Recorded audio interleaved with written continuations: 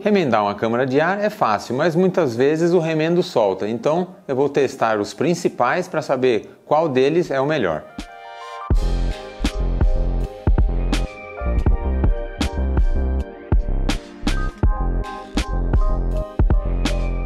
Tem câmara de ar que está custando bem caro. Aqui na pedaleria a gente não descarta uma câmara de ar furada ou rasgada porque sempre dá para fazer alguma coisa com ela. A gente já mostrou isso algumas vezes.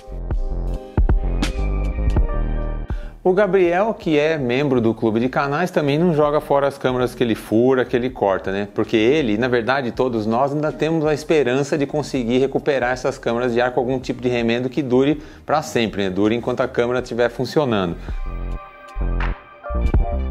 Alguns tipos de remendo são bem difíceis de fazer até pela preparação. Por exemplo, esse aqui, além de estar na quina da câmera, né, que essa dobra atrapalha bastante você fazer um bom remendo, ainda está em cima desses traços, né, que são em alto relevo. Então, você tem que lixar até desaparecer esse traço, senão o remendo já vai começar a soltar por ali. E o bico, claro, é difícil esse aqui ainda é um modelo que, que o bico foi vulcanizado bem baixo, né? ele não tem praticamente nenhum relevo. Aqui até daria para fazer um remendo bem próximo, estou falando próximo assim, um centímetro. Agora, imagina tentar fazer aqui, né? Que esse bico tá super em alto relevo e é duro pra caramba, parece que é outro material. Um furo muito próximo aqui não daria aderência no remendo, porque metade ia pegar na câmera, na parte que é fácil de remendar, e a outra metade ia subir o morro aqui, né? Tentando grudar nessa parte em volta do bico. Olha essa espinha aqui, o tamanho que tá, né? Dá pra ver como ela tá super alta. Esse remendo, é, eu uso a técnica de fazer com a câmera inflada. Então, primeiro você passa cola, prepara né, tudo corretamente. Tampa o furo com o dedo, infla bem e quando você tirar o dedo vai começar a vazar, você já aplica o remendo. Então, o remendo ele já está dilatado. Né? Quando você esvazia a câmera, ele tenta retrair ele fica assim, em alto relevo. Mas quando a câmera estiver inflada, ele vai estar tá, acompanhando, ele vai estar tá bem esticado e vai ignorar o fato de estar na quina, né, que é o pior lugar que tem para remendar. Algumas câmeras de ar são fabricadas numa borracha muito ruim. Aliás, nem parece borracha, né? parece um tipo de plástico né? que está tentando virar borracha. E nesse tipo de câmera, o remendo solta facinho, principalmente se for mordida de cobra, né? que é aquele furo duplo na câmara de ar quando a gente dá uma pancada com a roda numa quina viva. Ou quando a gente demora para perceber que o pneu furou e continua rodando até ele murchar completamente, aí pode ser um prego e ele vai fazendo vários furos numa pequena área. Então fica difícil de remendar tantos furos e tão próximos. E também os rasgos, né? Rasgo de qualquer tamanho é sempre complicado. A tristeza.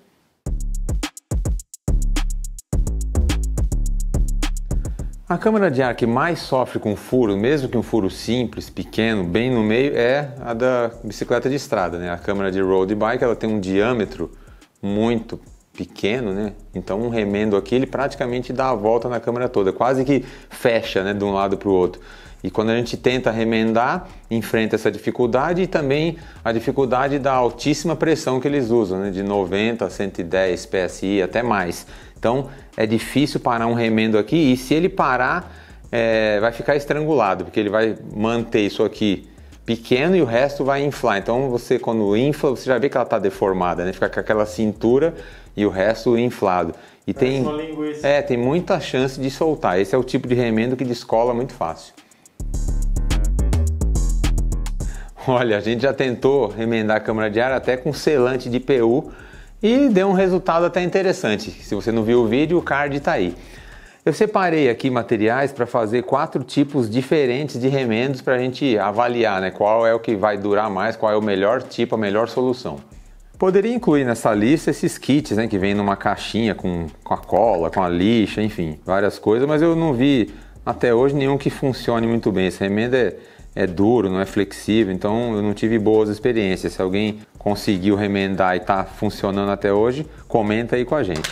Eu vou começar com as estrelinhas, né, que são bem confiáveis, são limpas, elas estão envolvidas aqui numa película, né, contra esse papel alumínio, então ela está sempre limpinha. E você fazendo direitinho, lixando a câmara de ar colocando cola na câmara de ar, cola no remendo, esperando secar e depois grudando uma coisa na outra, funciona muito bem. Tem vários tamanhos e tem inclusive esses mais compridos para rasgo ou para dois furos próximos.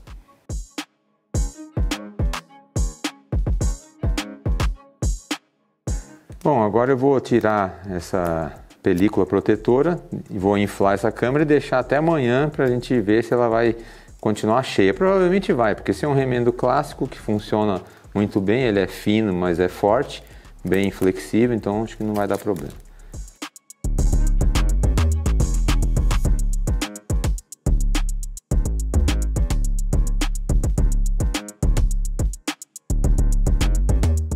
Esse kit aqui é conhecido como tapetinho, ele também tem uma película, né? Você tira essa parte branca e o remendo ele é vermelho, essa parte limpa e aderente é em outra cor. É, funciona bem, ele é fino, ele é bem tradicional também, vem com uma cola. Então você corta de acordo com, com o tamanho, é menos prático, né? Para quem está na trilha, tem que ter uma tesoura, enfim, alguma coisa assim. Mas para fazer em casa, ele é bem confiável, você faz com calma, né?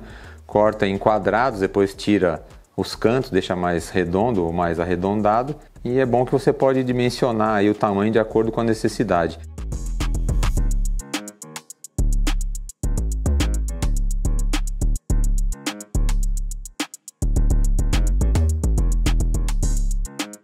Como esse remendo com o tapetinho é um pouco menos flexível, né, porque ele é espessura única, ele é inteiro na mesma espessura, a estrelinha ela é bem fininha na borda e vai engrossando no meio.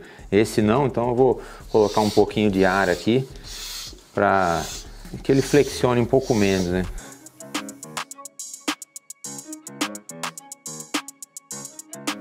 Tem que apertar bem, preferência com uma ferramenta que não vá machucar ou, ou contra uma estrutura mais rígida. Esse provavelmente vai durar bastante também. A terceira forma de remendar, tô tirando do baú, hein? É o que eu fazia quando era menino, quando era criança. Andava lá na minha berlineta. A gente não tinha muitos recursos, né? Era tudo caro, mais escasso. E a gente furava bastante, né? Então é, para remendar uma câmara de ar, você usa um pedaço de outra câmera. É só cortar um círculo aqui, limpar bem, tem que tirar o, o talco, né? Que você pode usar álcool, thinner, qualquer coisa assim para deixar bem limpo. Lixa a câmara, lixa é, o remendo e usa esse tipo de cola, né? Própria para remendar e vai ficar bem feito o remendo. Você riscou com lápis porque não tinha caneta na época? Na época também não tinha caneta, nem remendo.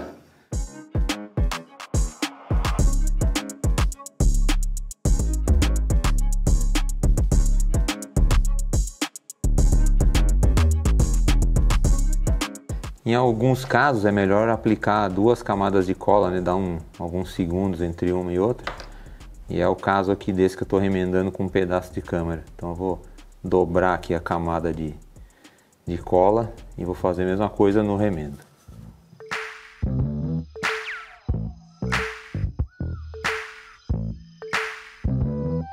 Essas colas para câmara de ar não são cola de contato aí que você acha no sapateiro, acha em qualquer lugar, né? É uma cola feita para remendar a câmara de ar. Então tem um composto, né, que é bem aderente, deve ter até borracha na formulação e cola bem mais.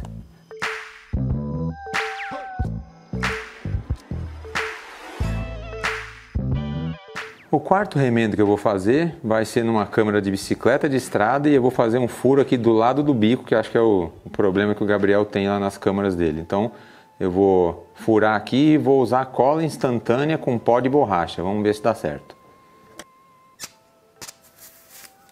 Nossa, exagerei, ó. Eu peguei um pedaço desse nosso piso de borracha aqui, que é chão de academia, Passei no esmeril e recolhi o pó. Então já tem um potinho aqui cheio de pó de borracha, bem fininho. Vai ser bom para a gente fazer esse experimento. Fui com muita vontade aqui, fiz um rasguinho, chegou a ser um furo, né? ficou meio comprido.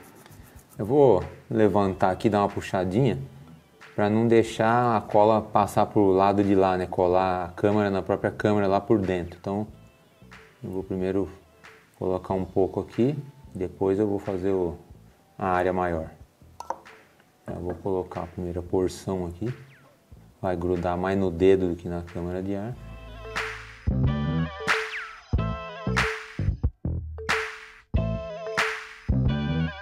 Eu já fiz remendo com cola instantânea, mas colando um pedaço de borracha, né? Aqui com, com esse pó eu nunca tinha feito.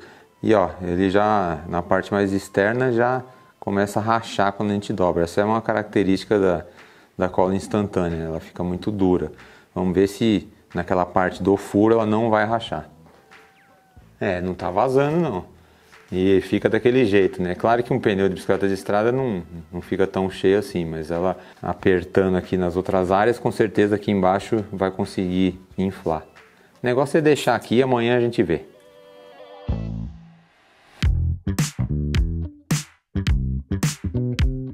Todos os remendos ficaram muito bons, não houve nenhum tipo de vazamento, né? ficou de um dia para o outro e permanece ali igual. Lembrando que nesse tipo de teste a gente acaba inflando a câmara de ar muito mais do que ela ocupa dentro do pneu, né? ela sempre fica mais espremida ali e até é uma forma de prender, né? o remendo assim com a câmera solta não está apoiado em nada e ele é apoiado no pneu, você tem mais pressão ainda, ou seja, fica mais difícil para descolar. Eu pessoalmente gosto mais da estrelinha porque ela é muito baixinha, né? não tem borda nenhuma, nada para atrapalhar, nada para enroscar, mas acho que não teria problema também ter esse volume né? um pouquinho maior quando a gente usa o tapetinho ou mesmo um pedaço de câmara de ar. Então, acho que fazendo dessa forma, usando uma câmara de ar boa, que é de butil, que é uma borracha boa, que dá remendo, dá aderência, não vai ter problema.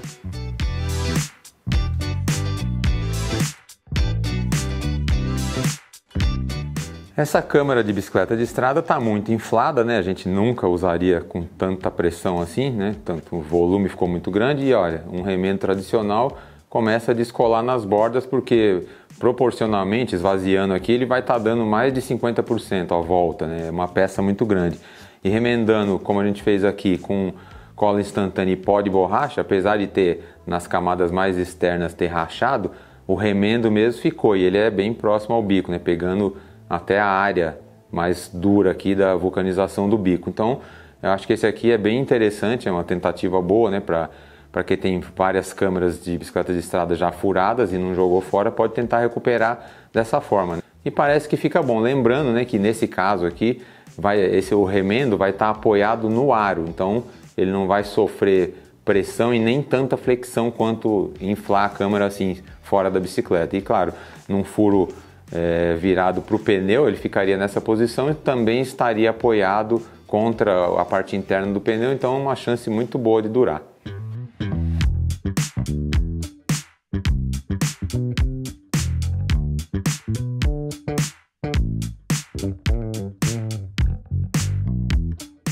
Então é isso, pessoal. Eu aposto que muitos de vocês têm altas receitas né, de como recuperar uma câmera. Então, por favor, compartilhe aí com a gente para a gente conhecer novos métodos de recuperar a câmera de ar. E se você não sai de bike levando um kit remendo com lixa, cola e a estrelinha ou o tapetinho já cortado, é melhor ter sempre uma câmera reserva com você, na bike ou no bolso da sua camisa de ciclismo. Espero que vocês tenham gostado e a gente se vê por aí nos próximos vídeos. Valeu!